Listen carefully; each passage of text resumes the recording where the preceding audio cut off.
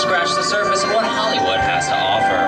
There are thousands of other great movies out there just waiting for you to discover. And here are just a few of my favorites.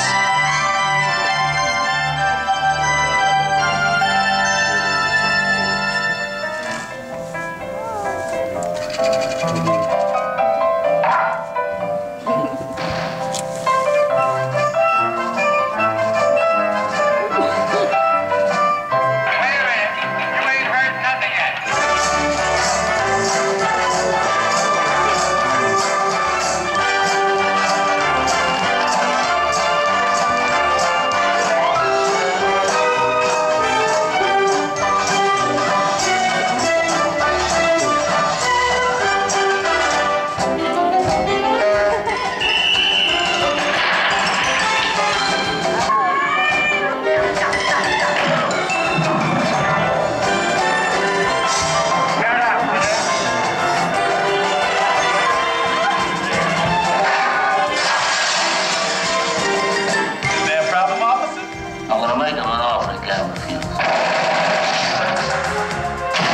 对